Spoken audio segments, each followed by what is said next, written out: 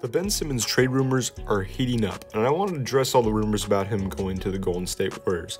But first, before we get started, um, about 98% of you aren't even subscribed to the channel, so if you do want more Golden State Warriors content, I would consider subscribing as it would help out the channel a lot. Leave a like on the video so we can get out to more people. Without further ado, let's get started. So Ben Simmons to the Warriors rumors first started up around July 29th. In an article by NBC Sports, it was reported that the Warriors rejected an outlandish Simmons trade offer. So the article says that Bob Myers probably fell over laughing when he heard the request before promptly hanging up the phone, which makes perfect sense because reportedly the 76ers wanted James Wiseman, Andrew Wiggins, the number 7th and 14th pick, which obviously ended up being Moses Moody and Jonathan Kuminga, plus two more future first round picks. And, you know, that kind of comes after the Sixers wanted a Harden esque uh, package back for Ben Simmons, which just virtually makes no sense. I mean, his trade stock is at its lowest right now, especially after the 2021 playoffs that we saw him pass up a wide open dunk to Matisse Thybulle. And the weirdest part was, you know, before that, the Sixers actually rejected a offer from the Pacers, and the Pacers were just offering Malcolm Brogdon and a first round pick. And literally, Malcolm Brogdon's a borderline all star, and the Pacers' first round pick honestly wouldn't wouldn't be that bad. Yet, they said and rejected that offer and wanted a Harden esque package back. No, that, that's clearly not going to happen. So that was kind of the first domino in this whole Ben Simmons saga. And let's get to the most recent reports. So there's all, been all this tension for the last couple months between Ben Simmons and the Philadelphia 76ers.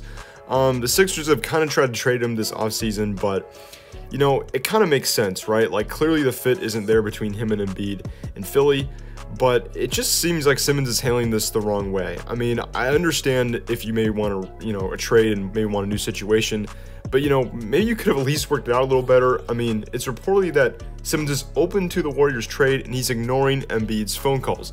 And with that, they can't even get a hold of Ben Simmons anymore. Like the Sixers can't even reach him. He won't even answer the phone, which is quite interesting.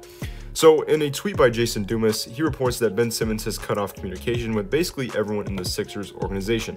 Everything is going through his agent Rich Paul. Ben is open to going to the Golden State Warriors, though he doesn't have much leverage in the situation.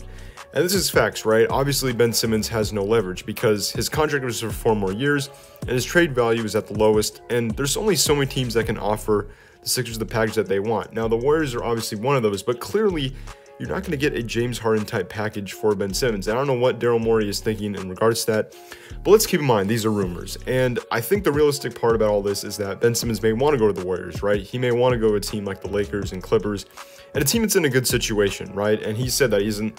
Apparently, he doesn't want to go to a bad situation, which makes sense. But you know, as far as the Sixers rejecting Malcolm Brogdon, in the first round pick, I mean that could be accurate. That could not be, but the Warriors rejecting that you know, supposed trade offer that the Sixers wanted, that makes sense, right?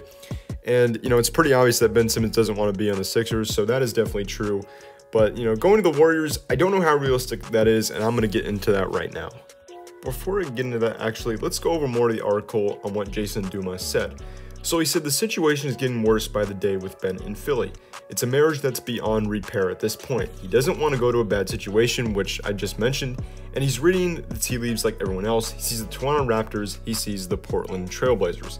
And Ben, just to be frank, the young social elite that he is, he's not really trying to go to any of those situations. He's open to the California teams, is what I've been told.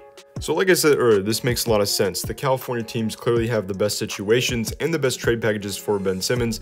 I guess you're talking about the Kings and the Warriors, maybe not so much the Lakers or Clippers, but you get what I'm saying.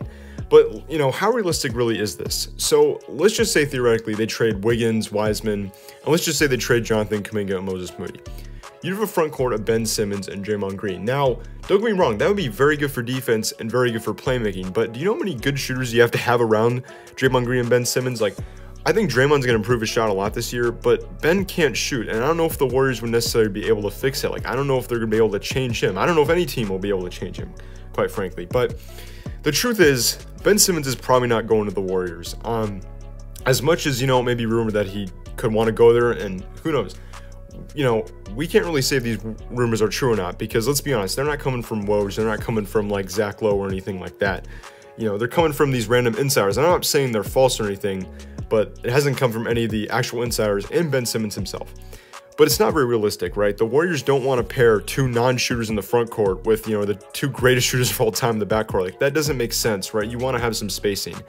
Um, but you know, let me know in the comments where do you think Ben Simmons will go because I don't think we'll be the Warriors and, you know, if they do, they're not going to give up all the assets that the Sixers want in return. And clearly, I don't think they're going to give up Wiggins at this point. They probably would give up Wiseman and maybe, you know, Moses Moody and um, Jonathan Kuminga, but clearly it's unlikely that they'll give up Wiggins. So let me know what you guys think. Ben Simmons is not going to the Warriors. Let me just make that clear. So hope you guys enjoyed this mini breakdown, and I'll see you guys in the next one. Peace out.